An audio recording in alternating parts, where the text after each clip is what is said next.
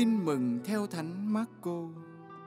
Khi ấy, Chúa Giêsu bắt đầu giảng dạy ở bờ biển và có đám đông dân chúng tụ lại gần người. Nên người xuống ngồi trong một chiếc thuyền trên mặt biển. Tất cả đám đông thì ở trên đất theo dọc bờ biển.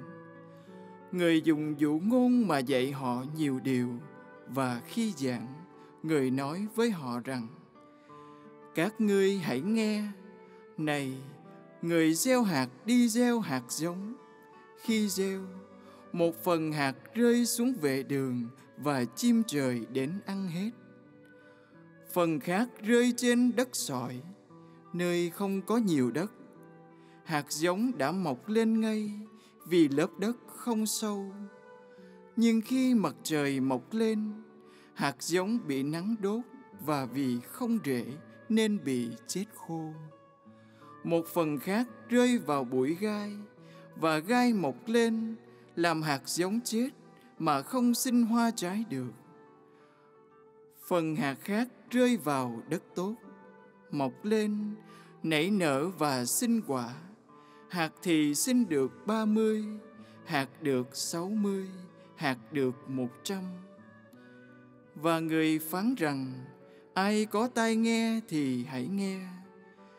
Khi người còn lại một mình, thì mười hai ông là những kẻ luôn ở với người, hỏi người về ý nghĩa dụ ngôn, người liền bảo các ông. Các con được ơn biết mầu nhiệm về nước thiên chúa. Còn những người khác ở ngoài, thì mọi sự được giảng dạy bằng dụ ngôn.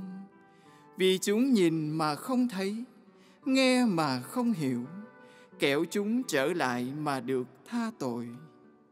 Người nói với các ông, các con không hiểu dụ ngôn đó sao? Vậy thì hiểu sao được tất cả những dụ ngôn khác? Người gieo hạt là gieo lời chúa.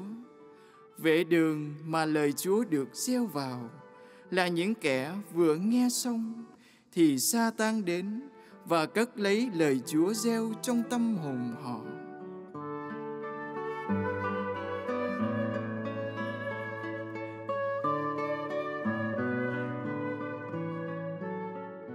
Hạt giống lời Chúa. Chúng ta hãy bình tâm và tự xét mình xem mảnh đất đời ta là loại đất nào. Vệ đường hay bụi gai, đá sỏi hay đất tốt hạt giống lời Chúa đã được gieo vãi vào tâm hồn ta. Hạt đó đã phát triển đến đâu rồi? Ta có chăm bẵm cho hạt sinh sôi hay mãi mê trần thế đã làm cho hạt giống của lời bị bóp nghẹt? Chắc chắn vào ngày mùa, nếu hạt của ta chỗ sinh được 60 hay 100, chủ mùa gặt sẽ vui lắm. Nhưng người hưởng niềm vui đầu tiên là chính bản thân mình xin cho chúng ta được hưởng trọn vẹn niềm vui đó.